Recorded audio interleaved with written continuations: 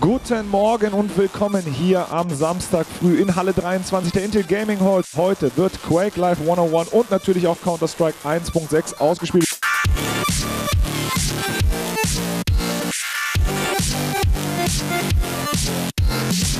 We're going to be moving into the Quake Live semi-finals. So Cooler gets the red. This is an important fight for both players. Cooler with the rockets makes it happen.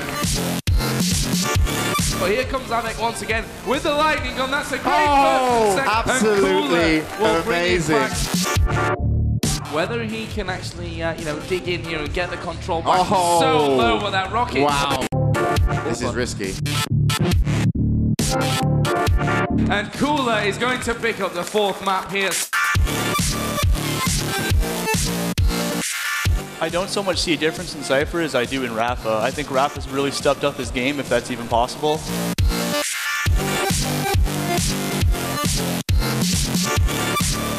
Oh, Cypher's rocket flicks him over the top.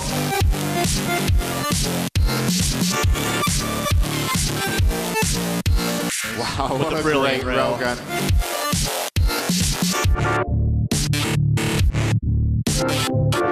There comes Wow, a kill. a and how does he do it?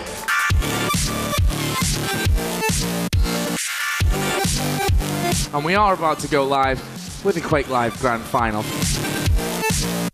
He's camping a teleporter, so Rapha will go for a teleporter. Doesn't find him. Comes through here and finds Cooler. Goes Oh. to chase.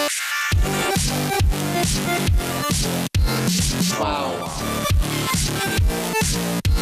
And we've got now five seconds to go. Cooler being thrown off with that rocket. Two seconds left. He will get the frag, but it will end 5-3. That was esports on the highest level. In the grand final, it'll be Fnatic from Sweden up against Navi, who are from Ukraine. Passing this AK off, and Threat's just like, okay, I'll take all of you. Finally, Edward will deal with him and gets his oh. second onto cArn. He's making the wrong decision at the wrong Look time. at f0rest's position now. He gets himself two.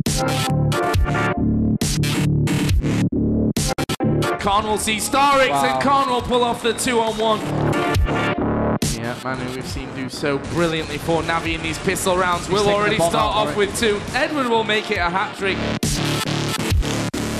Oh, they've killed DSN. Great opening round here. And Senior actually doubles up. There's a oh, man in middle. That's f0rest. Zeus has dealt with him. What can get right and can't do? They have to save it on planted. Fnatic. Bomb planted. markeloff takes down one. It's now all on cArn, the, uh, the, the captain for Fnatic, as he starts to work his way into this bomb site. He's up against four from Navi. Surely they're going to kill him, and Navi will win the Intel Extreme Masters Season 4 for Counter-Strike 1.6, picking up $50,000. But I think more importantly for them, their first real major tournament victory